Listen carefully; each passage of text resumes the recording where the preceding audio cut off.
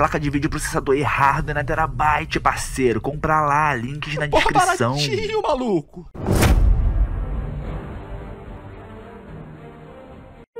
O crack é igual o João 1010, só vem para roubar, matar e destruir. Fuja da craqueagem e compre já sua licença Windows original no site da GVG Mall. Links na descrição. Fala galera, meu nome é Rodrigo, você está no canal Rodrigo Baltar, o canal que mais cresce no Brasil. Pessoal, esse vídeo aqui a gente vai bater um papo sobre o problema que está rolando entre a Epic Games, a Steam e a produtora do jogo Metro Exodus. Então vamos lá, para quem não está por dentro, a Steam tinha lançado a pré-venda do Metro Exodus, jogo o qual as pessoas estão esperando bastante, né? Porque a franquia é excelente, o Metro 2033 e o Last Night são dois dos melhores jogos em primeira pessoa que eu joguei até hoje. Para quem está acostumado com Battle, que é uma merda, e outros jogos no mesmo estilo, Call of Duty, você tem ali uma visão um pouco diferente de um jogo em primeira pessoa, com uma história bem bacana, baseada num livro do mesmo nome. E a Steam tinha feito a pré-venda, muitos usuários compraram, e do nada a produtora, a 4A Games, fechou um contrato de exclusividade com a Epic Games e a Steam teve que reembolsar todos os usuários que compraram o jogo. E não foi suficiente, né? Os outros jogos da franquia, o Last Night e o 2033, começaram a sofrer bastante rage dos usuários da Steam, começaram a entrar no jogo e fazer comentários negativos por conta do ocorrido. Bom, a minha opinião sobre essas lojas é que todas elas são vírus. Vírus.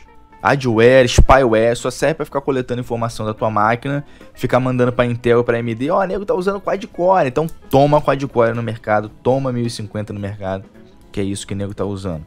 E além de consumir memória à toa, ficar enchendo o saco mostrando fulano entrou no jogo tal, ciclano parou de jogar não sei o que. Ah, e nego te manda mensagem no meio do jogo, eu fico puto. Então, para mim, essas lojas são todas imbecis. Todas. Inúteis. Só, pra, comprar o jogo. Só isso. Para mim, a melhor loja que tem é a da GOG, porque você entra lá e baixa o instalador do jogo e instala. Muito simples. Muito simples, mas não. Todas as lojas querem agregar valor ao serviço deles e acaba ficando uma merda. É quase um sistema operacional a porra das lojas. Mas é, antes de criticar a, a essas decisões, a gente tem que dar a César o que é de César, né? Antes da Steam, a plataforma de PC era a terra do nunca. Só tinha pirataria, rataria, pornografia, pedofilia, é, deep web, era só isso. De vez em quando você via um jogo original, por exemplo, de um amigo teu que roubou na Americanas. E fora isso, era só pirataria, skid row, torrent, casar, vírus, só isso. E depois da Steam, os jogos começaram a se popularizar, né? As pessoas começaram a comprar porque era simplesmente mais fácil. Você entrava na loja, comprava o jogo, baixava o jogo, o jogo funcionava perfeitamente. Não no GTA 4, mas a grande maioria dos jogos funcionavam perfeitamente. E você podia jogar tranquilo. E depois disso, as pessoas começaram a. As produtoras começaram a lançar cada uma a sua loja, né? Forçando os jogadores a terem que instalar. Se eu não me engano, a segunda foi a Origin, que você tinha que instalar para jogar FIFA, Battle e outras porcarias da EA. Mass Effect, Dragon Age. O Dragon Age, se eu não me engano, Mass Effect. Não, não, não tinha não. Pensei que tivesse na Steam, mas não tinha não. O... Teve a Battle.net, né, que veio da Battle.net, que já é uma, uma rede antiga da Blizzard. Eles criaram lá a loja da Battle.net, então você tem que instalar o software também. Tem a GOG, tem a o Play, que era uma porcaria que todo mundo reclamava da Uplay na época. É, eu deixei de jogar há muito tempo o Rayman, comprei o Rayman e falei, tem que instalar o Play, cara, não acredito. Não instalei, mas falei assim, caralho, depois de um tempo falei, pô, o jogo é muito maneiro, cara.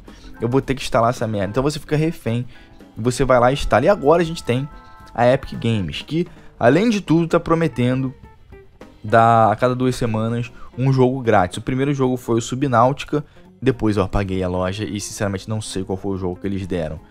É, eu tive que instalar para jogar o Fortnite, vi lá o Subnáutica, o Subnáutica, botei lá e depois eu apaguei também. E se eu não me engano, aquele jogo Ashen também foi exclusivo da, da Epic Games. Cara, isso tudo pra mim é uma foda. E pro usuário do PC também, porque o cara vai ter que instalar Epic Games, o cara vai ter todas as outras lógicas, é mais uma parada comendo memória na, na hora de rodar o bank dele do Metro. Porque pro jogador do PC o Metro é só um bank. Eu aposto que, sei lá, 80% dos jogadores do PC não jogaram o jogo, só fizeram um bench. Eles estão puto por causa desse consumo de memória a mais que você vai ter que gastar por causa da loja, né? Porque eles não vão se dar o trabalho de fechar Steam e tal, eles vão rodar ali o bank deles com todas as lojas abertas ao mesmo tempo. Então os caras do PC estão puto com isso.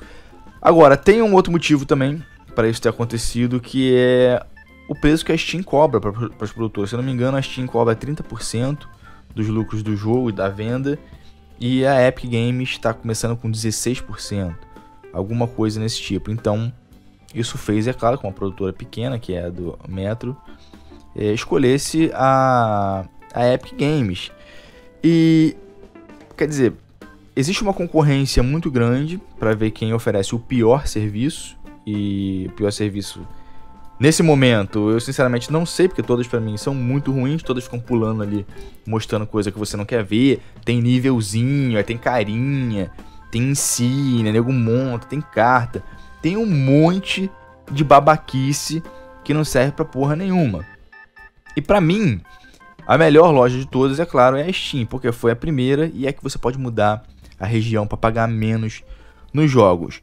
O que vai acontecer diante desse cenário, eu não sei, mas o jogador do PC ele vai ter que se acostumar e vai ter que sim que instalar todos esses vírus para poder jogar jogos de determinadas produtoras.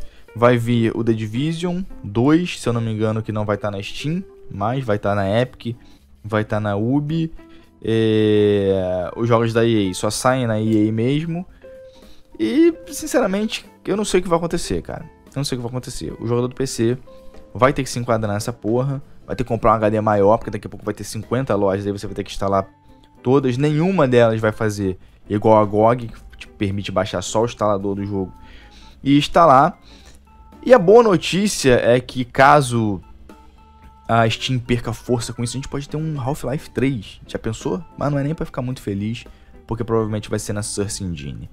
Então, pessoal, é isso aí. O que vocês acham desses vírus, spyware, adware que você tem que instalar no seu PC para simplesmente poder rodar e comprar jogos. O que vocês acham? Coloquem aí nos comentários. E o que vocês esperam também do Metro Exodus, além do Ray Trace e do Bank, né? Que eu sei que é isso que vocês gostam. Até mais e até a próxima!